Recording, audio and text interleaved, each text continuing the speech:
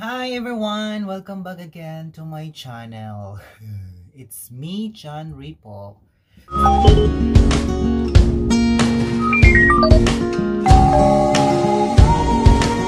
So for today's video po is mag-unbox lang ako nitong bagong dumating na Amazon. So ipapakita ko sa inyo kung ano itong meron dito sa loob ng Amazon. So ayan guys. So mamaya tayo mag-shoutout after nitong video natin i-try lahat. At ma-set up ko to dito. So ito po yung laman ng dumating guys. So ayan. So ito yung kasama niya. Ito siya guys. Ano to? 120 inches.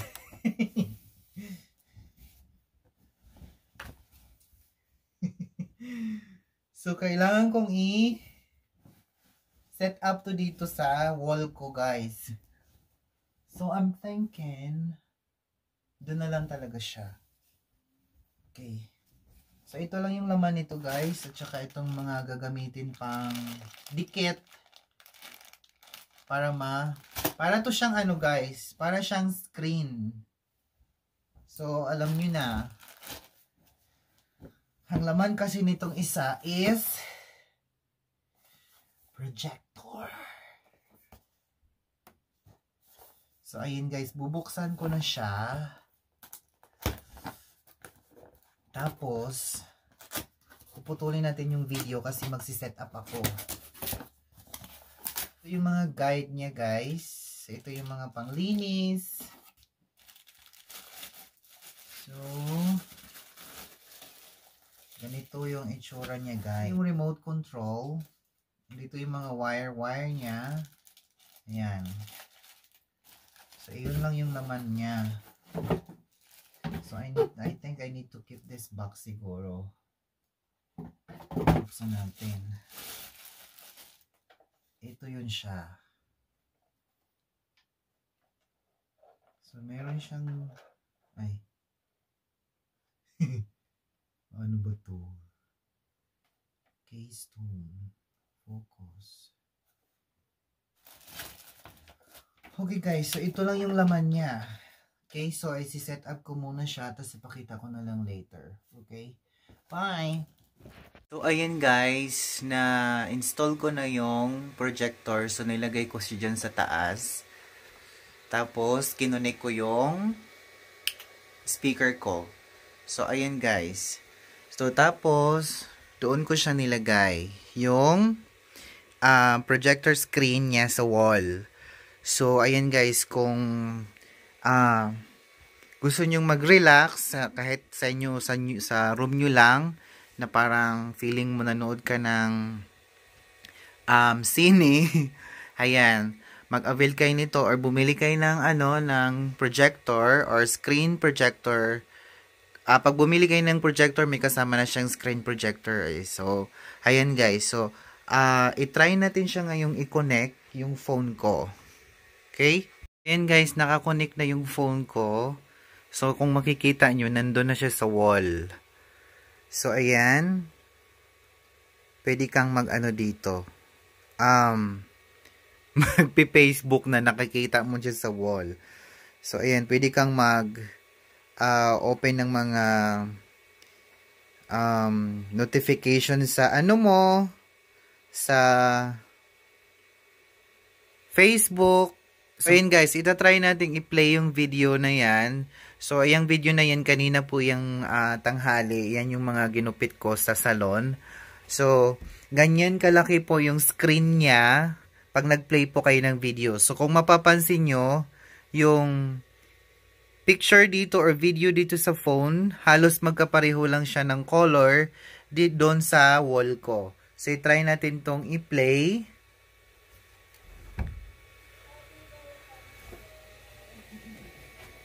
Ayan. Ulitin natin dahil wala pala siyang volume. Okay, so i-play natin ulit. Happy Valentine's Day! Ayan, sobrang cute po ng mga bata na yon. So, customer ko silang tatlo, magkakapatid sila. So, they are so excited to, ano, to, uh, punta sa Bower Pan after kasi mag-skates daw sila if hindi masyadong uh, lamig. So, ayan guys. So, ngayon, itatry nating i-play yung uh, old video ko dito sa screen na to para makita nyo na maganda, sobrang komportable. Kunwari, alam, alam mo yung, alam mo yung uh, pagod ka, tapos uh, mag, magre-relax ka lang. So, itong projector na to may kasama siya ang remote control. So, hindi mo na kailangang bumangon para patayin yung computer kasi before I'm using my computer but ngayon, uh, at saka hindi ko siya napapatay minsan. So, parang umiinit kasi yung computer pagka hindi napatay. So, ngayon, nag-isip ako na uh, sobrang komportable na isang pindot lang patay na siya. So, may remote siya kung gusto mong patayin. So, isang pindot mo lang, power off, power on lang siya. So, mamamatay siya agad. So, ayan guys, itry natin i-play yung old video ko dito sa wall ko ng, dito sa wall ng kwarto ko. Okay? Nice.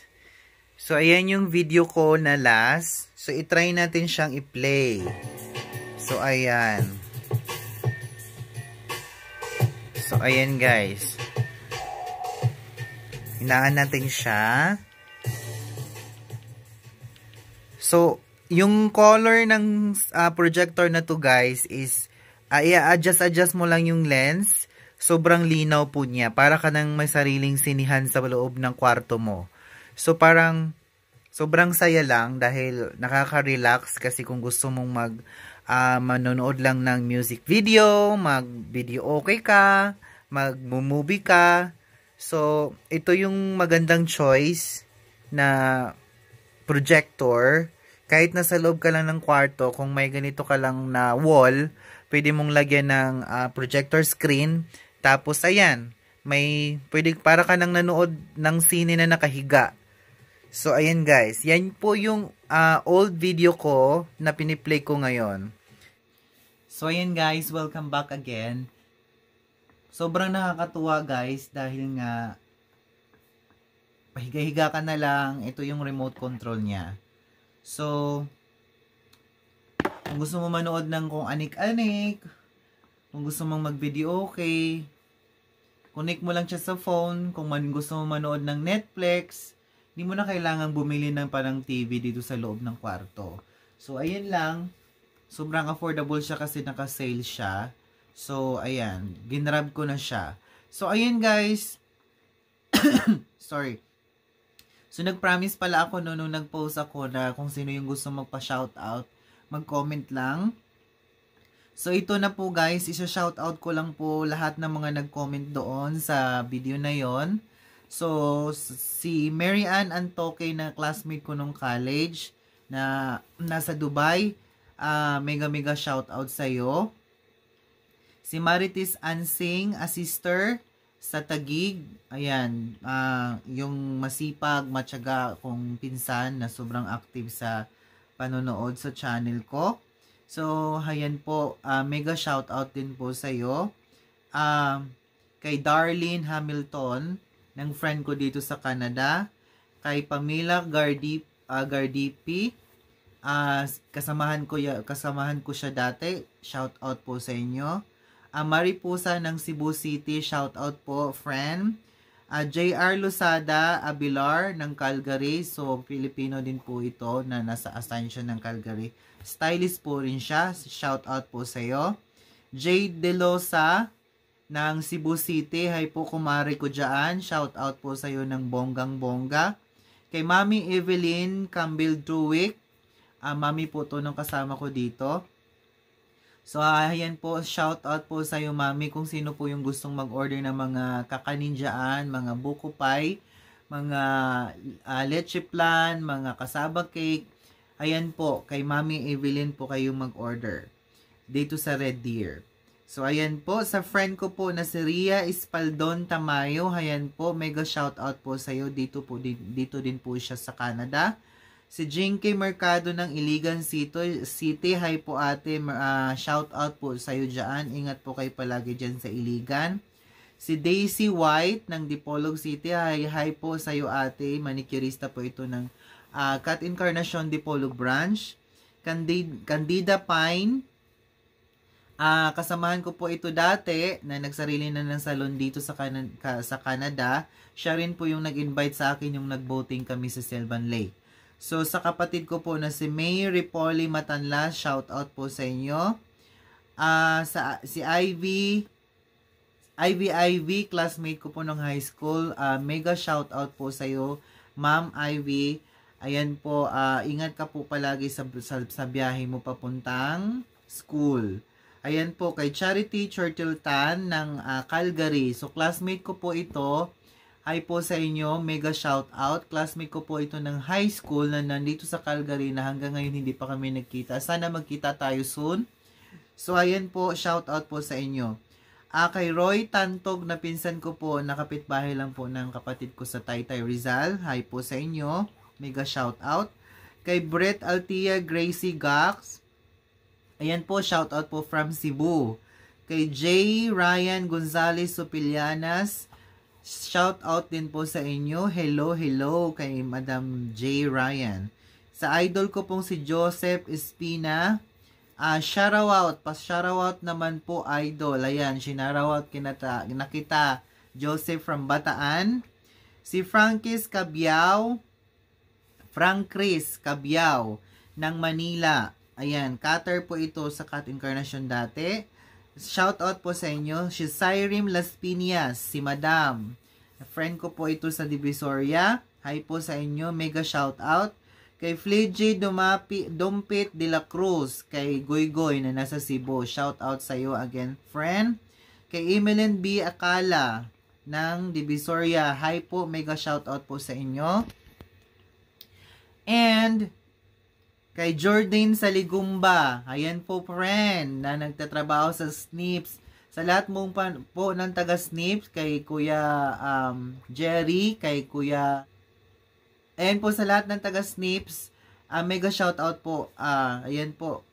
Kasama po yan ni Jordan dyan. Ayan po sa classmate ko po nung uh, elementary, si Rain Par uh, as, as Kera o Ra, Raffner Dragon. Mega shout out po sa iyo. Um, ayan, si Police po yung classmate ko na yan. Mabait po yan ngayon. Mabait na po yan ngayon. Mega shout out sa iyo. Ingat ka po palagi sa duty mo. Alam kong delikado yung trabaho mo pero pray lang, ingat ka palagi. And of course, sa classmate ko nung high school ulit si Yvonne Ortiga. Ayan po, shout out po sa iyo from Cebu. And also kay Maria Lo, si Maria Bicolana sa, sa friend ko dito na vlogger din po. Ayan po kay Richard Camposo Marapao. Shout out din po sa iyo from Mindanao. Elnora Ripoli, sa tsahin ko po, hi po, shout out po sa inyo. Kay Marla May Bakulao Daan, shout out po sa inyo from Cebu City. And kay Loderick E. Kawit, ayan, shout out po sa iyo na nandyan na sa Manila ngayon sa classmate ko ng college. Ayan po. Si Loderick Kawit, shout out po sa iyo kay Warren Tinaan ng Dubai. Classmate ko po ito ng college. Shout out po sa iyo. Mega mega shout out po sa iyo. Ayan po kay Ronnie Esmilia ng Bataa, uh, I mean, uh, Butuan. So, ayan po, kay Ronnie Esmilia, shout out ulit sa iyo. Kay Julia Alino Malipot, shout out sa iyo from Cebu City. Vinco Duarte Nunal, shout out po sa iyo from, I think, Hong Kong or Dubai siya or Qatar. I'm not sure but nasa ibang bansa to si Vinco Duarte Nunal. And kay Ronald Gitiga ng CDO Cagayan de Oro City. Ayan po, mega shout out po sa iyo Ronald Gitigan. Ingat po kay lagi diyan. Kay Aime Ramos, ayan po, Aime Ramos, ayan po, mega shout out sa iyo mami. Kay Oliver Bulan, ayan po mami from Iligan City. Hi po sa iyo, mega shout out po sa iyo, Mami Oliver. And then kay Rosalyn Ron Ronario Claros uh, from Dubai. Ayan po si ate from Divisoria dati na nasa Dubai na siya ngayon. So ayan lang po, magsha-shout out lang po ako ngayon. At saka yan lang po yung pinakita ko ngayon na uh, in-unboxing ko. And then, ipinakita ko sa inyo kung paano siya, paano ko siya in-install dito, paano ko siya ginam, gagamitin. So, yung kwarto ko ngayon, binaliktad ko na naman para po magka, ah, ma- magiging maayos yung kwarto. Kasi ah yung screen protector kasi niya is medyo malaki. So, 100, ano siya, 120 inches yung screen protector. So, kung makikita nyo guys, andun po tayo. So, nakakonect po yung phone ko doon, dito sa, sa projector. So, habang nagre-record ako is, nagpi-play din po siya doon sa wall ko. So, ayan guys, thank you, thank you so much for watching. And abangan nyo po yung mga iba kong video. At sana po kung sino yung gustong mag nagbalak na bumili ng uh, projector na to, ayan po, uh, maire-recommend ko po sa inyo na ito maganda po na uh, projector. Kasi, sobrang uh, dali niyang gamitin dahil ah, i-connect lang siya sa wifi, tapos, meron lang siyang pipindutin dito sa taas. Ayan, ito lang po. Pag na-connect na siya doon na ano sa sa projector, ito lang sa Smart View. Pag pinindot niyo yung Smart View, i-connect niyo lang siya diyan sa sa, projector. Tapos automatic siya na automatic siya na mako-connect siya diyan. So makikita mo na yung screen sa wall. So ayan po guys, kung sino yung mga nagbabalak na gumawa ng mini theater sa bahay or kahit sa kwarto na gusto nyo na hindi na kayo bumili ng TV kasi uh, kakain ng malaking space ang TV. So, projector na with wifi na yung na pwede siyang i-connect sa wifi is a good choice. Kasi sobrang komportable with with remote na siya. So, ayun guys, thank you, thank you so much for watching for the, uh, this video. And don't forget to share, like, and subscribe.